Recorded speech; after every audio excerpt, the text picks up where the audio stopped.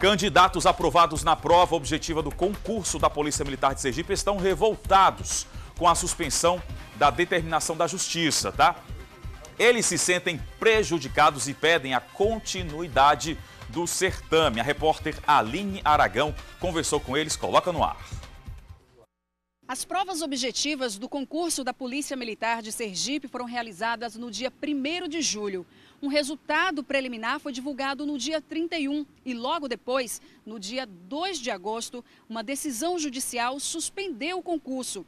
O magistrado considerou a prisão de dois homens suspeitos de fraudar a prova. Eles foram presos dentro da escola com aparelhos celulares. Mas aí, quem passou, quem teve seu nome no resultado preliminar está se sentindo prejudicado. Por isso eu vou conversar com essa turma que está aqui reunida para falar sobre isso. Vocês, o João Vitor, o João e o Vitor e todo mundo que está aqui, está com o nome lá na lista. Lista de aprovados, né, o resultado preliminar sim, que foi sim, divulgado sim. no dia 31. E aí vocês se sentiram, estão se sentindo prejudicados com essa decisão liminar. Sim. É, primeiramente, eu gostaria de ressaltar que não queremos bater de frente com a decisão judicial que foi proferida pelo juízo, nem com o pessoal que supostamente se, se sentiu prejudicado com a prisão desses dois cidadãos que tentaram fraudar o concurso público. Mas eu não posso deixar de manifestar a minha indignação e nem e a do pessoal que foi aprovado no concurso público de que nós não concordamos com a, com, com, com a suspensão do concurso. É, a gente acredita que, que não é razoável é, adiar uma necessidade real do Estado, prejudicando inúmeros candidatos que, que passaram no concurso público, que fizeram sacrifícios, que fizeram gastos, até gente de fora que veio, comprou passagem. Só para a gente atualizar aqui, os dois homens que foram presos, supostamente aí fraudando a prova, eles continuam presos, a, a investigação ainda está em andamento.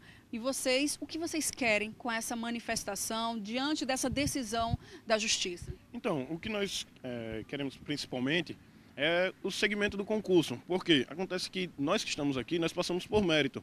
Ninguém aqui fraudou concurso nenhum, nós estudamos, se abdicamos de várias coisas. É, pessoas aqui que se abdicaram até de lazer com a própria família. Como já, como já falamos, houve gasto financeiro, houve diversos outros fatores que influenciaram para que nós, é, nós obtivéssemos êxito na, e lográssemos êxito na, na prova. E foi o que aconteceu. Saiu o resultado, nós fomos aprovados. É, já estávamos na preparação para o teste físico, que é um teste físico muito rigoroso, ou seja, também é, exige mais preparação, exige custos.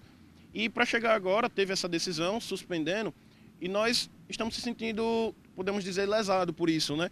Então, queremos aqui, nossa maior reivindicação é o segmento do concurso. Nós esperamos que o concurso dê segmento para que todos nós possamos é, continuar nas demais etapas e logo em breve estarmos no Cefap e sermos novos policiais militares do Estado. Isso aí. Obrigada. Lembrando que a decisão do magistrado suspendeu todas as etapas do concurso e pede ainda que sejam aplicadas novas provas objetivas. A gente, como eles falaram aí, estão todos se sentindo prejudicados. Quem teve o nome lá na lista preliminar de, de aprovados, a gente sabe que para fazer concurso público tem que ter muita dedicação, muito esforço, como eles relataram aqui, físico, psicológico, financeiro, não é fácil e fica então a reivindicação de todo esse pessoal e dos outros, com certeza, que endossam e que reforçam tudo que eles estão dizendo aqui, que estão indignados com essa decisão.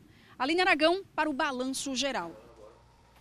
Tá aí mais uma polêmica envolvendo este concurso da Polícia Militar de Sergipe. Vamos esperar os desdobramentos dos próximos capítulos dessa situação.